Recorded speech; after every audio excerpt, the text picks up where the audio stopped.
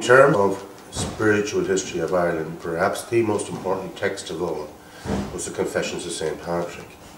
Now, generally speaking, when these appear in print up to now, they were in academic volumes that were set for people who had studied early Irish linguistics and Latin, and not for your ordinary Joe Soap punter. Recently, the Royal Irish Academy have published a lovely little edition of the Confessio, which is in this simple little uh, paperback that you see here. And I think that to get the, the, the, whole feel of it, perhaps it might be worthwhile just to read the first paragraph here. It goes, My name is Patrick.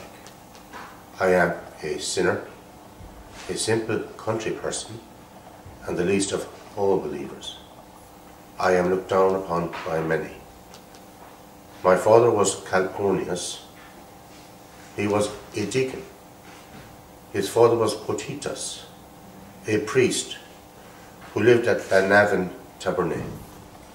His home was near here, and that is where I was taken prisoner. I was about 16 at the time.